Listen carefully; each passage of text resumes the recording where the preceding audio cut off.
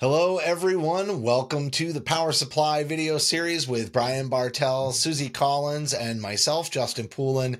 Today, we are going to be talking about reordering and safety stock, and we're going to give you some real practical calculations and formulas to help you with that.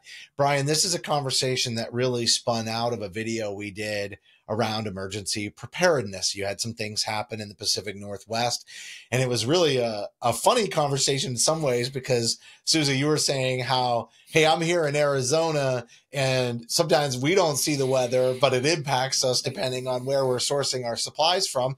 And then you actually had an emergency pop up in the middle of the recording. It was absolutely hilarious, uh, the timing of all of that. So, you know, Brian, you kind of reached out and said, hey, you know, we've got uh, you know, maybe some some additional follow up conversation here to help people um, who are out there, you know, just have some good formulas and calculations for ensuring that they have a safety stock and how they manage that through reordering. So, Brian, I'll let you kind of introduce it. I think also, um, you know, maybe in the comments of this video, we'll make sure to add these formulas for reference in the description here on YouTube, um, just so that people can see those those calculations as well.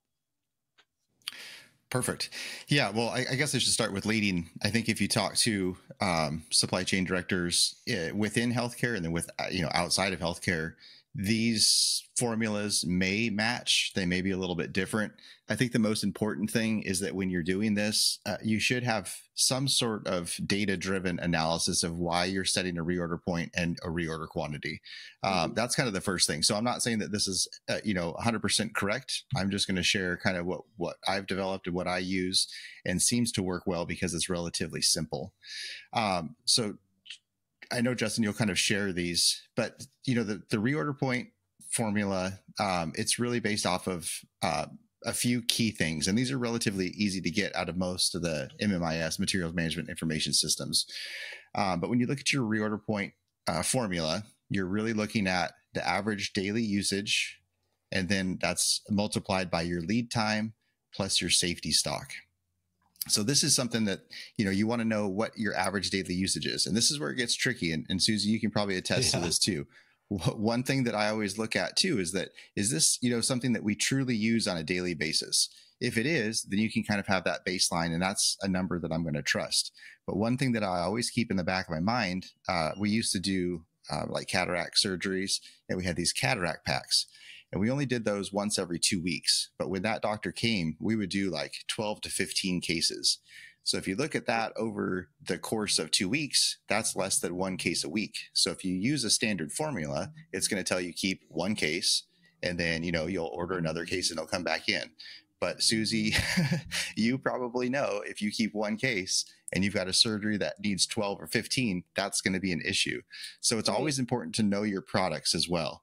So again, remember when you're using a data driven approach, you've got to look at, you know, how these things are ordered. Is it something that's consistent basis or is this something that's very cyclical and driven by a specific event? Um, then when you Suzi, do you want to comment on that real quick too? Like, I just, I'm, I'm actually slightly intrigued because we've had some challenges as we've moved ERP systems between unit of measure changes and just numbers that were entered.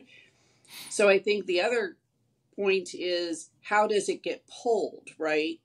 So if it's if it's a box of something and maybe you keep six on the shelf, but there's the potential that four boxes could go out at the same time. I think that's another factor that we have to think about is how is it going out and where does it go? How many pars is it sitting on?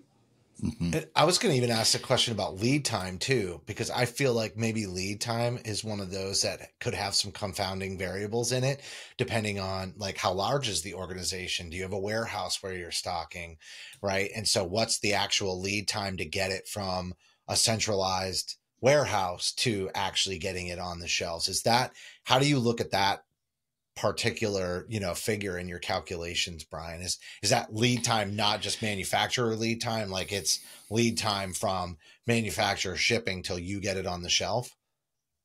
This is from order time. So we don't again the the bulk of what we order is coming from a distributor uh, you know, the good, the bad, that everything that comes in between of that. So lead time is when that the the time that the PO is cut, the date that the PO is cut until the date that it's received. We don't have a lot of like in between things. So once that buyer cuts the PO, it goes out same day when it's received. That means it's physically here. We put everything back um, away on that same day as well. But it, it's a good. It's you're right, Justin. That's a moving target. So you don't just set a lead time based on one point in history.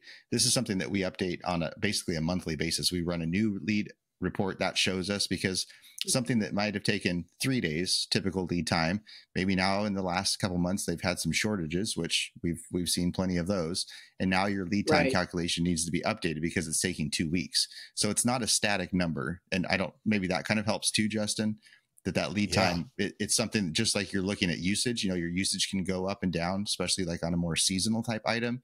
The mm-hmm. same thing with lead times that's not a static number that's something that you need to be constantly adjusting um, and looking at how, what that current lead time is.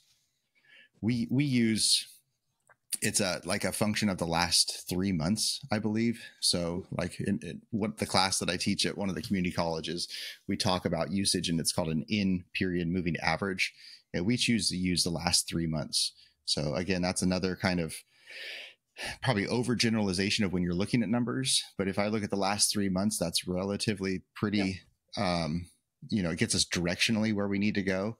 But then if there's a spike, or now we're heading into flu season, again, you've got to know your products because there's certain things that that lag time can can hurt you on. So we're we're analyzing this too when there's a shortage on the shelf. You know, if we realize that we run out of stock or we're low stock, then we start looking at the most frequent usage or most current usage and can adjust these accordingly too.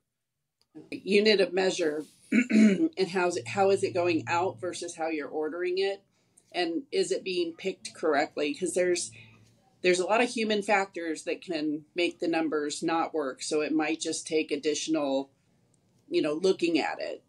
But I think that's, but you have to have a starting point, right? If you don't have a good starting point, you don't know where to go. And then you're guessing, and that's the worst thing we can do.